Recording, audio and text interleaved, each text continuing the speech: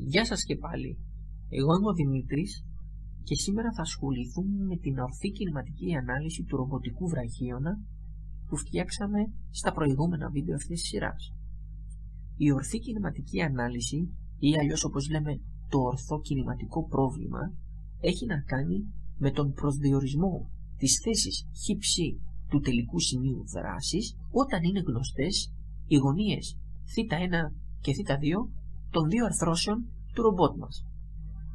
Πριν ξεκινήσουμε θα κάνουμε μερικές μικρές αλλαγές στο κώδικα που γράψαμε την προηγούμενη φορά. Για αρχή θα διαγράψουμε ορισμένες μπύλιες γιατί δύο είναι αρκετές για όλα τα παραδείγματα που θα κάνουμε στην συνέχεια αυτής εδώ της σειράς. Θα κρατήσουμε μόνο την κόκκινη και την κίτρινη μπύλια και τις υπόλοιπες θα τις διαγράψουμε. Για να διαγράψουμε μία οποιαδήποτε μορφή στο Scratch, αρκεί να κάνουμε είτε δεξί κλικ πάνω της στην ε, λίστα των μορφών και να επιλέξουμε από το μενού που εμφανίζεται την επιλογή διαγραφή είτε μπορούμε να κάνουμε δεξί κλικ επάνω της στην σκηνή και από το μενού που θα εμφανιστεί θα επιλέξουμε πάλι την επιλογή διαγραφή. Κάνω το ίδιο και για την πράσινη πύλια ώστε να μας μείνουν μόνο η κόκκινη και η κίτρινη. Στη συνέχεια θα κάνουμε ένα τέχνασμα και ο λόγος που χρειάζεται να το κάνουμε αυτό είναι εξαιτίας του τρόπου με τον οποίο χειρίζεται το Scratch την πένα. Θα πάμε στην λίστα με τις μορφές και θα κάνουμε κλικ στο διάλεξε νέα μορφή από αρχείο. Στο παράθυρο που θα εμφανιστεί επιλέγω την εικόνα NaN. Παρατηρήστε ότι η εικόνα NaN στην ουσία δεν δείχνει τίποτα. Πρόκειται για μια εικόνα PNG όπως και οι υπόλοιπες και έχει περίπου τις διαστάσεις όσο οι εικόνες με τις μπύλες, με τη μόνη διαφορά ότι είναι τελείως διάφανη. Έχει δηλαδή τελείως διαφανές background και αυτό για να μην φαίνεται. Ο λόγος που δεν θέλουμε να φαίνεται αυτή η εικόνα είναι γιατί θα την χρησιμοποιήσουμε έτσι ώστε να ακολουθεί συνέχεια το τελικό σημείο δράσης του ρομπότ μας. Αλλά επειδή είναι διάφανη δεν θα φαίνεται καθόλου και έτσι δεν θα αποκρύπτει την εικόνα του τελικού σημείου δράσης. Για να την εισάγω στη σκηνή, επιλέγω το πλήκτρο εντάξει. Παρατηρήστε ότι εισήχθη η νέα μορφή στην λίστα με τις μορφές, αλλά προφανώς επειδή είναι διάφανη, δεν φαίνεται και πουθενά στη σκηνή. Για να κάνουμε την μορφή 8 να μετακινείται συνέχεια στο τελικό σημείο δράσης του ρομπότ, θα πρέπει να λύσουμε το ορθό κινηματικό πρόβλημα. Έχοντας επιλεγμένη την καινούρια μορφή που μόλις εισάγαμε, δηλαδή τη μορφή 8, πηγαίνουμε και κάνουμε κλικ στην καρτέλα έλεγχος. Από εκεί επιλέγουμε το blog όταν λάβω και το εισάγουμε στην περιοχή των σενάριων.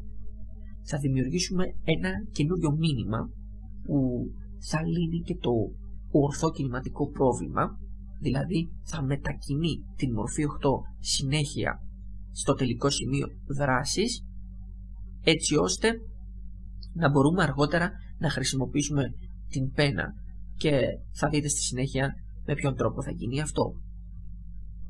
Κάνω κλικ στο βελάκι και επιλέγω νέο. Θα δώσουμε το όνομα underscore tool move έτσι ώστε να το ξεχωρίζουμε από τα άλλα μηνύματα τα οποία παίζουν και το ρόλο των εντολών της αφηρημένης γλώσσας προγραμματισμού για την οποία είχαμε μιλήσει στα προηγούμενα βίντεο κάνω κλικ στο εντάξει. Στη συνέχεια πηγαίνουμε στην καρτέλα μεταβλητές. Θα δημιουργήσουμε δύο καινούριες μεταβλητές. Κάνουμε κλικ στο πλήκτρο δημιούργησε μία μεταβλητή και δίνουμε το όνομα χ end underscore end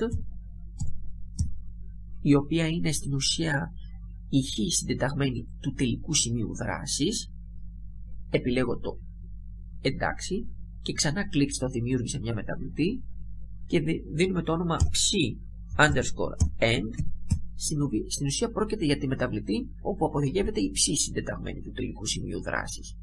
Κάνω κλικ στο εντάξει.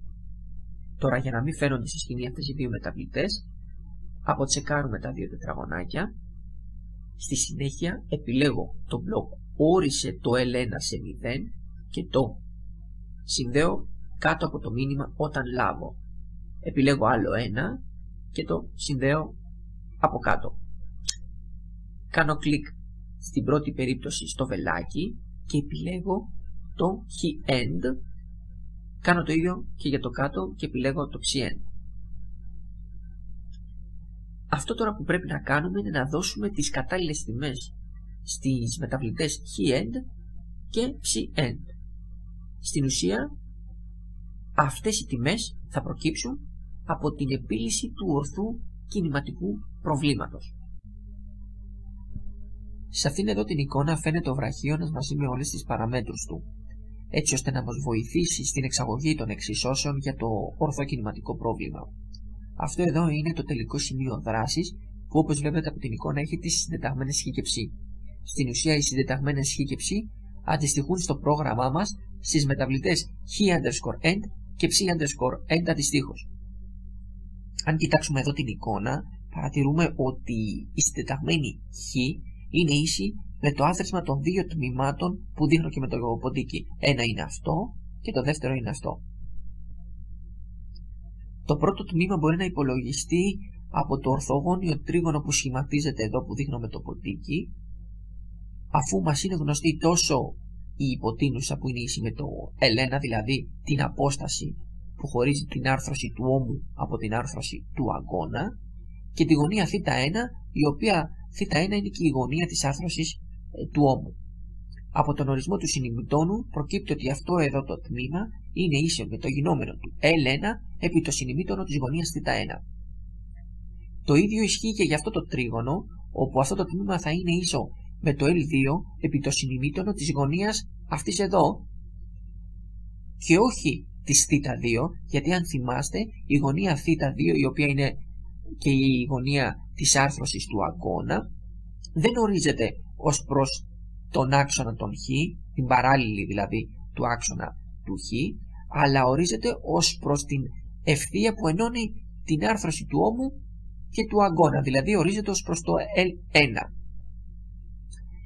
Αυτή εδώ η γωνία προκύπτει πολύ εύκολα γιατί αν κοιτάξετε αυτήν εδώ την ευθεία και αυτήν εδώ την ευθεία που είναι παράλληλες η ευθεία L1 κόβει τις δύο παράλληλες σε δύο σημεία οπότε αυτή εδώ η γωνία και αυτή εδώ η γωνία η θ1 είναι αναγκαστικά ίσες ως εντός εκτός και επιταυτά όπως λέγαμε αν κάποιος θυμάται την γεωμετρία. Αφού αυτή εδώ η γωνία είναι θ1 και αυτή εδώ η γωνία είναι θ2 προφανώς η γωνία που χρειαζόμαστε είναι ίση με το άθροισμά τους, δηλαδή θ1 και θ2. Οπότε αυτό εδώ το τμήμα ισούται με το γινόμενο του L2 επί του συνημιτώνου του αθροίσματος των γωνιών θ1 και θ2. Με τον ίδιο τρόπο μπορούμε να υπολογίσουμε και τη συντεταγμένη ε, ψ, η οποία είναι ίση με το άθροισμα αυτών εδώ των δύο τμήματων που δείχνω με το ποντίκι. Αυτό είναι το πρώτο και αυτό είναι το δεύτερο. Εδώ θα χρησιμοποιήσουμε τον ορισμό του ημιτόνου, οπότε αυτό εδώ το τμήμα είναι ίσο με το γινόμενο του L1 επί το ημίτονο της γωνίας θ1 και εδώ αντίστοιχα είναι ίσο με το L2 επί το ημίτονο της γωνίας θ1 συν θ2.